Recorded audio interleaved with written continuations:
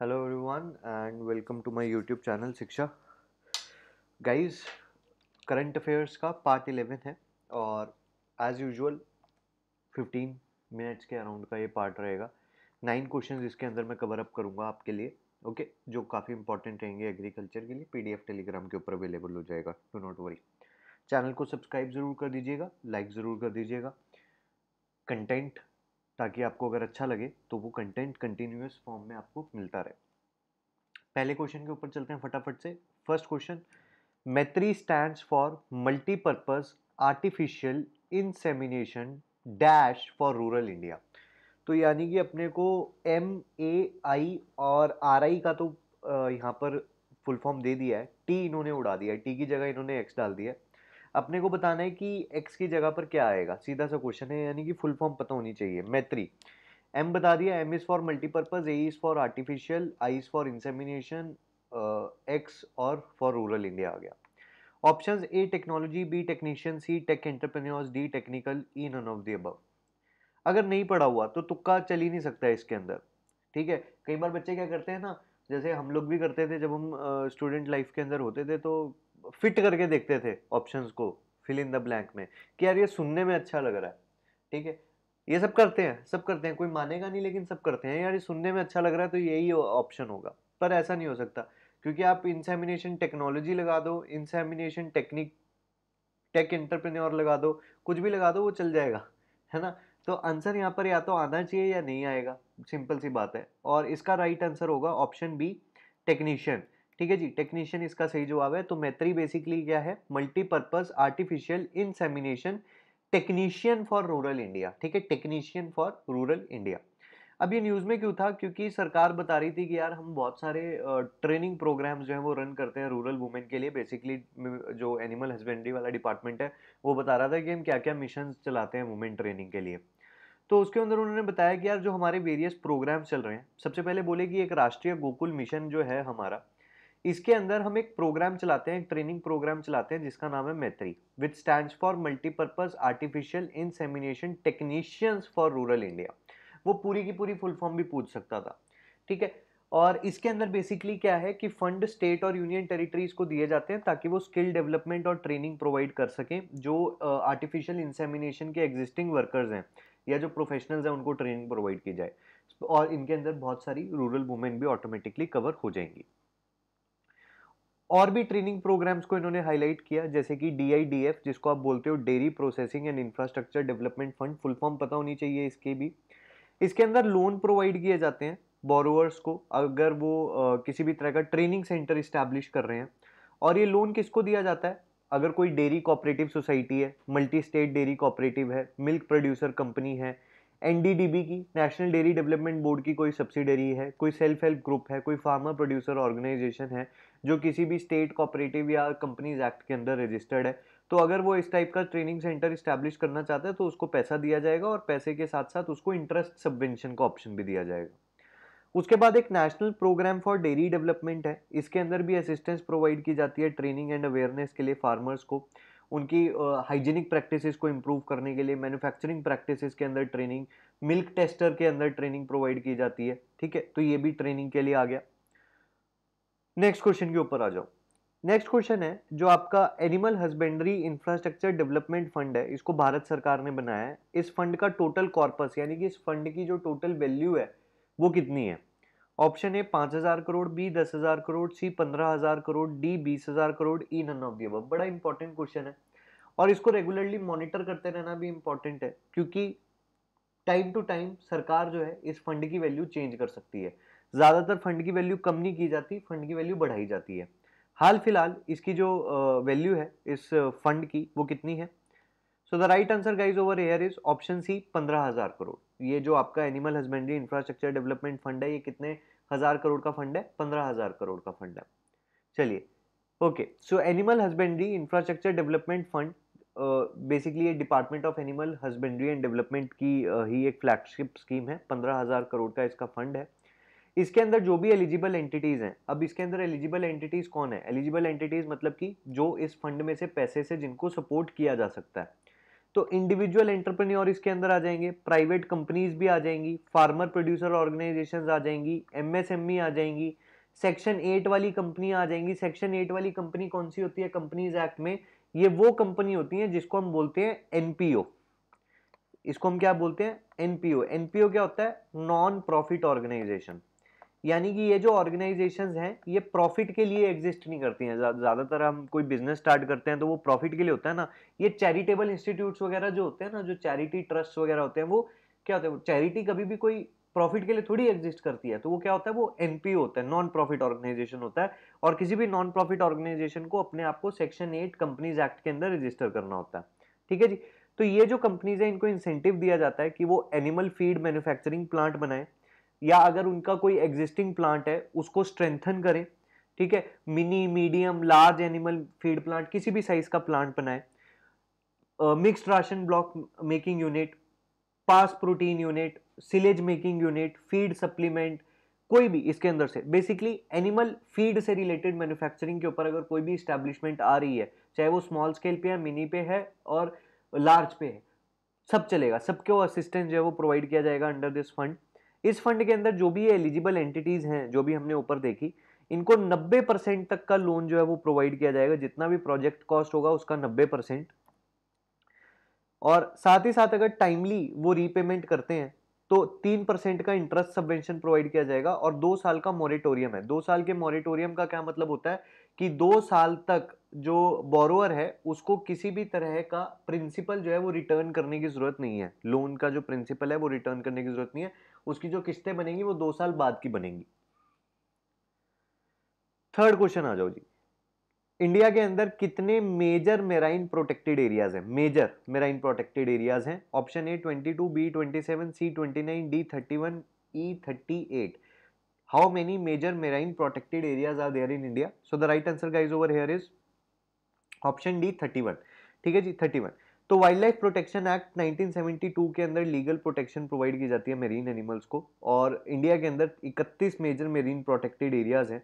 जो इंडिया के coastal area को कवर करते हैं, जिनको इन मेरीन प्रोटेक्टेड एरियाज़ को वाइल्ड लाइफ प्रोटेक्शन एक्ट के अंदर ही नोटिफाई किया जाता है। तो अभी तक सरकार ने 31 ऐसे मेजर मेरीन प्रोटेक्टेड एरियाज़ को नोटिफाई किया है। वो आपसे ये भी पूछ सकता है कि ये जो मेरीन प्रोटेक्टेड एरियाज़ हैं, या ये जो 31 marine protected major marine protected areas हैं, इनको किस एक्ट के अंदर नोटिफाई किया जाता है? तो आपका आंसर क्या हो जाएगा? Wildlife protection act of nineteen next question पे आ जाए। National committee on mangrove wetland and coral reef was constituted in एक कमिटी बनाई गई थी नेशनल लेवल पे मैंग्रोव वेटलैंड और कोरल रीफ्स की प्रोटेक्शन के लिए। ये किस वर्ष में बनाई गई थी? 1993 2002 2014 1018 और none of the above so the right answer guys here will be option A 1993 1993 में इस कमेटी का गठन किया गया था, ओके? और ये बेसिकली क्या करती है? सरकार को एडवाइस करती है, जो भी रेलिवेंट पॉलिसीज़ या प्रोग्राम होते हैं ना मेरीन स्पीशीज जैसे कि मैंग्रोव वेटलैंड रीफ वगैरह की प्रोटेक्शन के लिए, उससे रिलेटेड एडवाइस और जो पॉलिसी फॉर्मुलेशन है, उसके अंदर ये काम करती है। Next question integrated management of wetland biodiversity and ecosystem services I M W B E S is financed by इसकी फुल फॉर्म भी इंपॉर्टेंट है, वो भी पूछ सकता था वो। Integrated management of wetland biodiversity and ecosystem services इसको फाइनेंस कौन करता है? इसका खर्चा कौन उठाता है? Option A global environment facility B national clean energy fund C national adaptation fund D special climate change fund या E none of the above so what will be the right answer over here guys इसका सही जवाब है आपका option A global environment facility जो 1992 में form हुई थी। 1992 में ना एक रियो सबमिट करके हुआ था। इंटरनेशनल लेवल पे recognizing the importance of you know preserving the environment 1992 में वो सबमिट हुआ था तब ये बनाया गया था ग्लोबल इन्वायरमेंट फैसिलिटी इसका जो ऑफ़िस uh, है वो वॉशिंगटन यूएस के अंदर है ठीक है? तो वो इस integrated management of wetland biodiversity and ecosystem services को फाइनेंस करता है। नेक्स्ट क्वेश्चन सेम टॉपिक से रिलेटेड इनमें से कौन सा वेटलैंड इंडिया में से integrated management of wetland biodiversity and ecosystem services में इंक्लूडेड है? इंडिया का कौन सा वेटलैंड इनमें से इंक्लूडेड है? Option A Sasthamkotta lake Kerala B Harike lake Punjab C Kabartal in Bihar D all of the above in none of the above okay integrated management of wetland biodiversity and ecosystem services so answer यहाँ पर है guys आपका option D all of the अब तीन wetland India के integrated management of wetland biodiversity and eco services के अंदर covered है. और वो तीनों आपके सामने है. Sasthamkotta lake in Kerala Harike in Punjab and Kabartal in Bihar तो तीनों इसके सही है. ये तीन ही है. इसके अलावा और कोई नहीं है इंडिया का.